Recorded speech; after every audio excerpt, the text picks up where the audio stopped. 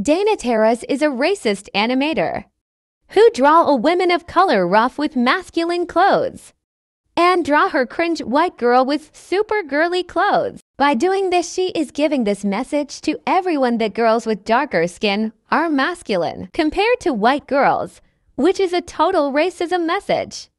Women of color are feminine and beautiful.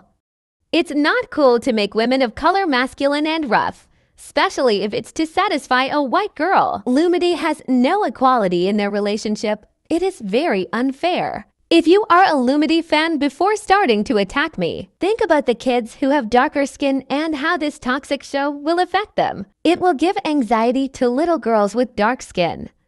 And your creator Dana doesn't give a damn. Do not support Dana Terrace or Lumity because they are super racist.